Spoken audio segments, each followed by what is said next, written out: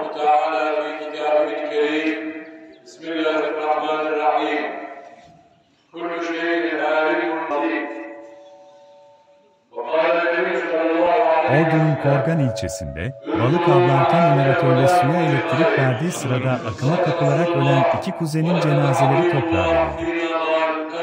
Oğuzhan, 25 ve Cihan Berber, 21 için ilçeye bağlı Hekimoğlu mahallesindeki merkez camide düzenlenen cenaze törenine, aileleri ve yakınlarının yanı sıra Korgan Kaymakamı Mikail Ersoy, Korgan Belediye Başkanı Tuncay Kemiz, Çatalpınar Belediye Başkanı Ahmet Töre, siyasi partilerin ilçe başkanları ile vatandaşlar katıldı.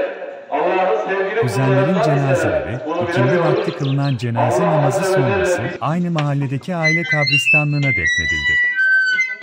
Olay, Değerli Çiftlik cemaatimiz, yolda arkadaşlar lütfen çevresindeki alalım. Oğuzhan ve Cihan Berber ile Mehmet Gül, Herkes ağacın başına geçsin. elektrik verip balık avlamak istedikleri sırada akıma kapılmıştı. Çevredekilerin ihbarı üzerine olay yerine gelen 112 acil sağlık ekiplerince Korgan Devlet Hastanesi'ne kaldırılan Oğuzhan ve Cihan Berber, müdahaleye rağmen kurtarılamamıştı. Mehmet Güldür ise Ordu Eğitim ve Araştırma Hastanesi'ne sevk edilmişti.